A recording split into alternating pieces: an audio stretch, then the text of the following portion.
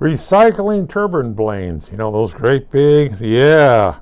At their end of a life, they have little cracks in them. You want to take them down. That's why people go up there and inspect these things very, very closely. You know, the guy gets on the end of this stuff, uh-huh, sits there with his binoculars and actually look at looks the whole blade. And if he starts seeing cracks in it, they take it down and put a new one up, which is not cheap. But what what do you do with these things?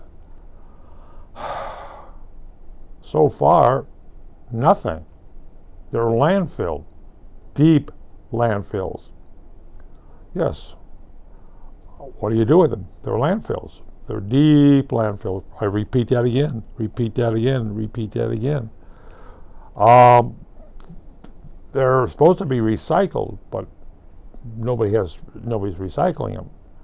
Uh, hopefully, they will make them out something different, something that can withstand spinning, the high winds, the vibration, or there a lot of landfills.